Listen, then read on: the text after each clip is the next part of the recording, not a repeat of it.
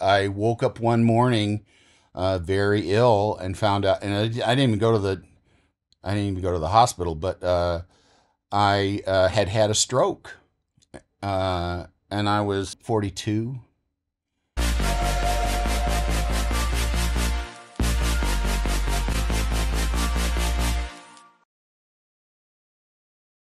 So I asked you about the best time. What about the hardest time?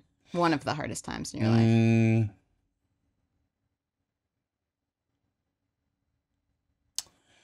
Uh, well, the divorce was by far the worst of the worst. Um, and, uh, I, I, you know,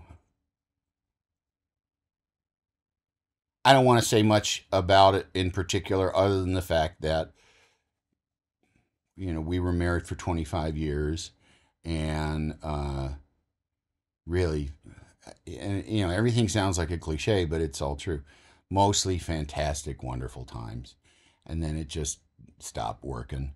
And then, and to admit that it stopped working and walk away and not live in the same house as my children is the freaking worst. It's just the worst. And, um, and there's that. And so that's that. That's all I want to say about that. Um, but the I had a, in 2008, uh, I had a rough time. I, uh, well, I had a very stressful. I, I was working in New Zealand on the, this really fun job and really loved working in New Zealand, but it was a tremendous strain because uh, my kids were uh, eight and three. Mm. And, you know, and I was gone for a couple of months, a couple of three months, just a tremendous strain on everybody. And, uh, and when I, and I, uh, and when I came home, uh, you know, like there was like the stress hangover was still kind of in the air Yeah, yeah. It's not like and you shake it off like yeah that. and uh and i i i mean i don't want to go into all of the details but i woke up one morning uh very ill and found out and i, I didn't even go to the i didn't even go to the hospital but uh i uh, had had a stroke uh and i was um uh let's see i was what would that make me 2008. 42 or wait Were you born in, s- well, what? I don't know. 1966 so 66, yeah, 34 right. plus yeah Yeah. um You so had a yeah stroke and really you young. know? I, un, I yeah i woke up and i was just really dizzy and i tried to go to the I, in the morning and tried to go to the bathroom and was violently threw up and waited till nine and called the doctors and they said oh it sounds like you got an inner ear infection and i called a couple you know two doctors and yeah the inner ear infection and i just stayed in bed and kind of hunkered down for the weekend and got eventually better but still felt like kind of dizzy and it's just it sounds so dumb now it's just but i mean it was my first But what do you mean? it was my first mortality scare you know no i did not call the ambulance? Yeah, but it does seem like why would you think that when Yeah. you're 42? yeah yeah Wh- Who's who, would anybody of that cross anybody's mind? I don't. I, now it like a- does. unless they're now, now it would. I, it doesn't happen twice. You know, like now if I felt that same way, I'd be like, put me in the back of a pickup truck. I, I just get me to the hospital. But not back then Um, when you're 42 yeah. and we're feeling healthy. And when you bounce back, you know, when I'm like out of bed the next night, you know, Yeah. but even I knew, you know, and it's like inner ear infection. I I don't think I had anything to eat for a day and a half. And when I finally, I went downstairs and had a bowl of Cheerios and I took the spoon and I hit the side of my cheek with the spoon. Like I didn't get the spoon into my mouth. And I was like, boy, this stuff is crazy, this inner ear infection. But I went, Was that what did it? What no. I, no, I'm- still no. I, I went, I, no, I, Monday, I just like, you know, I got to go see the doctor in person. And I went first to the ENT and he's like, this is not an inner ear infection. I went to my doctor and he said, let's get an MRI. Found I had a stroke.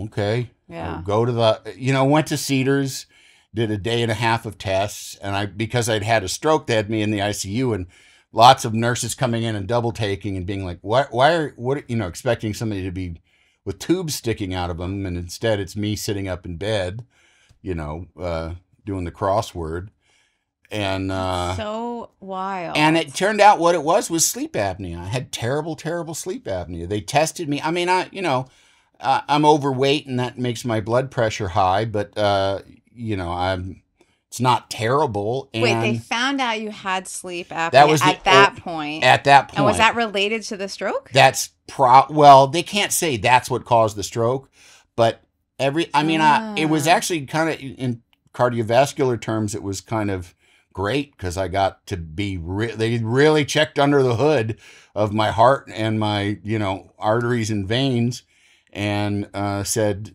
you know, you're. That's all good. You're good. Yeah, there's no so plaque, there's no buildup.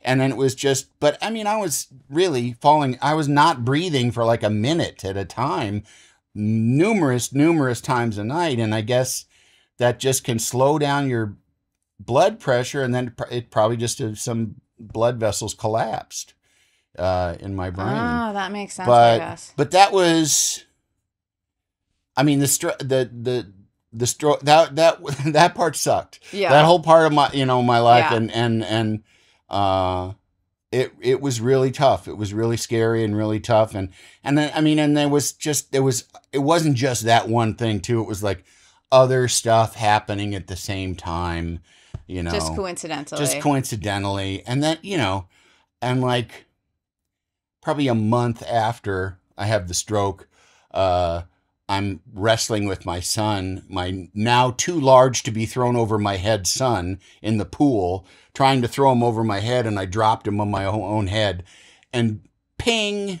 And you know like and, and i got out of the pool and i said to my ex-wife i said like this is going to be months and it was months what, what what do you mean ping? I mean, I see you like pointing your neck. What like a, a a a a disc, uh, you know, Oh god. like a, a a sprained disc in my neck, uh, and ended up having to finally get an epidural, you know, like right in where they put you out and shoot something right into your Mm. spine.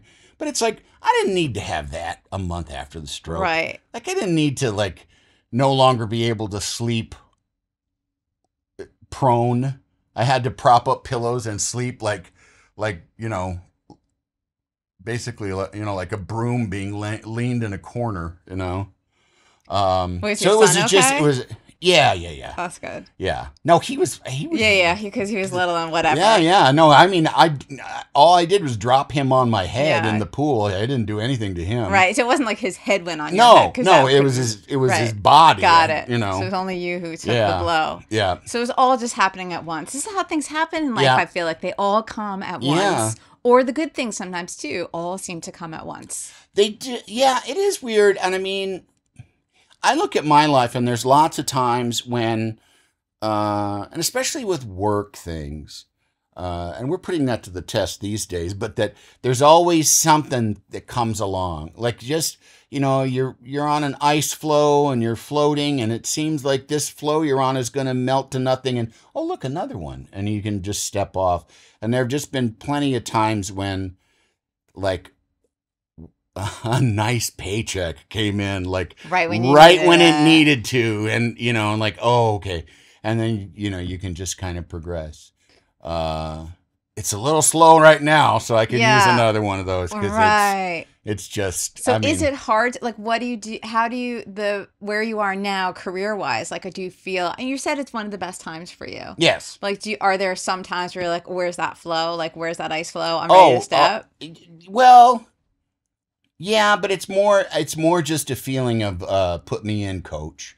Um and you know i mean i've been doing some guest star stuff but i uh i like making television. I want to make television. I want Yeah. somebody to put me in some television